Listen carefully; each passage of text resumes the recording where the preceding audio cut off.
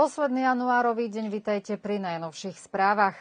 Hraničný priechod Chorgoš 2 Reske 2, ktorý bol od 20. novembra minulého roka pre osobné automobily otvorený 24 hodín denne a platnosť tohto nariadenia končí dnes, podľa nového rozhodnutia správy colnice sa termín predlžuje a hraničný priechod bude takto 24 hodín denne otvorený až do 20. marca. Non-stop bude otvorený každý deň aj počas víkendov a sviatkov a týmto priechodom môžu prechádzať osobné autá zo Srbska, Maďarska, cestujúci z Európskej únie, Švajčiarska, Norska a Islandu. Vhodné je to najmä pre tých, ktorí denne prekračujú srbsko-maďarské hranice kvôli práci, štúdiu štúdiu a často využívajú hoci aj bicykel či motorku. O predloženom termíne sa rozhodlo preto, aby sa odbremenil hraničný priechod Chorgoš 1 a aby sa nevytvárali kolóny aut. Prezident Aleksandr Vučić má dnes podvečer na programe stretnutie s veľvyslancami krajín Quinty, s ambasádorom Spojených štátov amerických, Veľkej Británie, Francúzska, Talianska a Nemecka a tiež sa stretne so šéfom delegácie Európskej únie. Stretnutie sa koná v budove generálneho sekretariátu prezidenta. Viac než 10% Srbov odišlo z Kosova a Metochie minulého roku kvôli stálemu tlaku Prištiny. Uvádza sa v správe Medzinárodnej krízovej skupiny s názvom K normálnym vzťahom medzi Kosovom a Srbskom.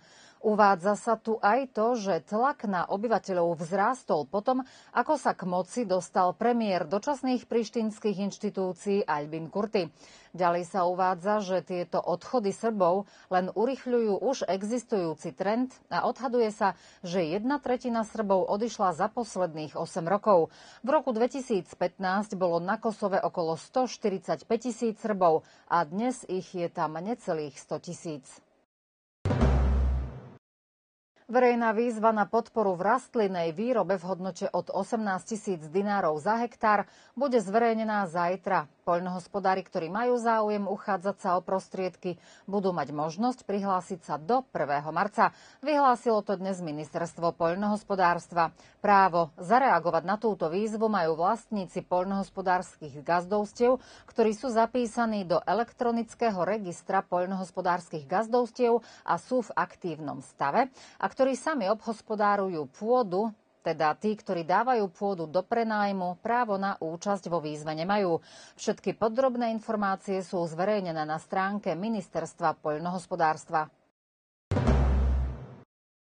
Dnes od 18. hodiny a rovnako aj zajtra od 18. hodiny sa bude vykonávať preplachovanie vodovodnej siete v Novej Pazove a bude trvať do raných hodín. Z verejnokomunálneho podniku Vodovoda kanalizácia Stará Pazova upozorňujú užívateľov, aby v čase preplachovania potrubí nepúšťali do prevádzky prístroje, ktoré k svojej funkcii potrebujú prívod vody, ako sú práčky, umývačky riadu a podobne. Voda by mohla byť kalná. Po skončení preplachovania, ak sa objaví kalná voda, treba vodovodné kohútiky na niekoľko sekúnd silno pustiť, kým nepotečie číra voda. Všetky bližšie informácie poskytne službu konajúci v podniku vodovoda kanalizácie na čísle 022 321 265. Ministerstvo obrany Srbska vypísalo výzvu na prijatie novej generácie kandidátov na vojenskú prípravu dôstojníkov v zálohe srbskej armády leteckého odboru. Mladí záujemcovia sa môžu prihlásiť v priebehu februára a marca. Je potrebné, aby mali ukončené základné akademické štúdium a aby do konca tohto roka nemali viac ako 27 rokov. Ako povedal podporučík pilot Milan Šárič, všetci záujemcovia budú musieť prejsť selekciou, ktorá bude rozdelená do dvoch fáz. Povolanie pilota má mnoho výhod, akými sú napríklad zaujímavé pracovné skúsenosti, stabilný príjem, zdravotné poistenie či zjednodušenie riešenia bytovej otázky. Hlavné však, niekomu sa môže splniť sen, robiť také vzrušujúce a zriedkavé povolanie. Srbsku sa každoročne 31. január zaznamenáva ako Národný deň bez tabaku. Srbsko je bohužiaľ aj naďalej na horných priečkach v zozname krajín v Európe aj vo svete podľa najväčšieho počtu fajčiarov. Podľa štatistických údajov vyše 40% obyvateľov fajčí, za čo Srbsku patrí 7. miesto v zozname a prekvapuje údaj, že medzi fajčiarmi je o 1% viac žien.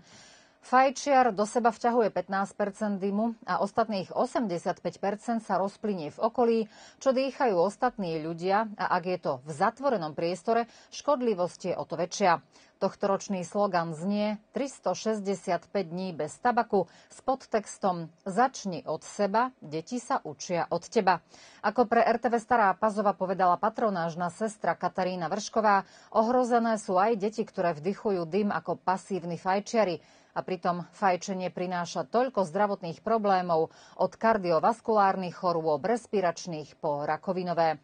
Stále je potrebná edukácia v tejto oblasti, ale aj zmena zákonov. V príprave je napríklad zákon o zákaze používania elektronických cigariet v zatvorenom priestore. Z Úradu pre Slovákov žijúcich v zahraničí zverejnili novú informáciu. V poslednom období úrad uskutočnil významné zmeny v dotačnom informačnom systéme a cieľom je zefektívniť podávanie žiadostí, zefektívniť spôsob hodnotenia. Ide o dôležitý krok vpred, ktorý umožní žiadateľom zvýšiť svoje šance na získanie dotácie. Mnohé nevyhnutné zmeny sú technicky náročné a vyžadujú, vyžadujú si čas, preto sa posúva termín na otvorenie dotačného aplikačnej výzvy. Termín zatiaľ nie je známy. Tí, ktorí budú mať záujem žiadať o dotácie, musia sa do 15. februára zaregistrovať alebo aktualizovať svoj už existujúci profil na stránke uszz.sk. Káva je jedným z najobľúbenejších nápojov po celom svete. Zalievaná domáca turecká preso, ako vlastne správne uvariť dobrú čiernu kávu? Ako pre RTV Stará Pazova povedal barista Milan Jorovič, neexistuje jeden a jediný správny spôsob, existuje viac variant. Niekto dá kávu do džezvy do studenej vody a čaká, kým voda zovrie. Iný najprv nechá zovrieť vodu a potom do vriacej vody nasype kávu a nechá ju ešte prejsť varom.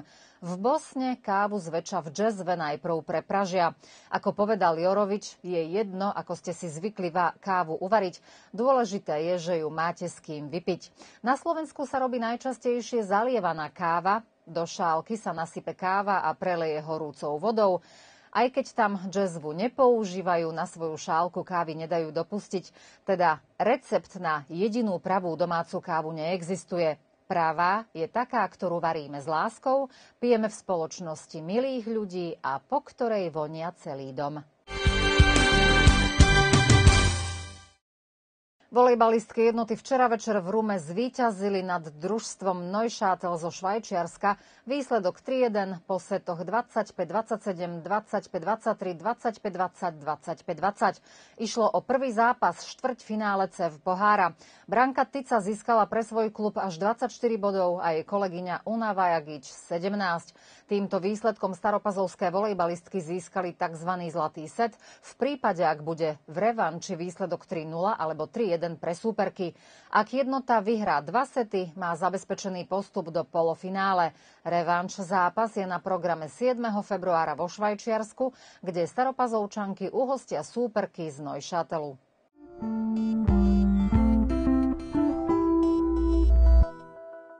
Zajtra bude v Starej Pazove prevažne oblačno, do obeda aj slnko, po obede už len oblaky. Teploty sa budú pohybovať v rozpeti od mínus 2 po 9 stupňov. Slabúčky vietor pocítime z premenlivých smerov. Emil, to je dnešný meninový oslávenec, zajtra je v kalendári Tatiana Tea. Tieto mená dali bodku za dnešnými správami. Želáme vám ešte príjemný zvyšok dňa.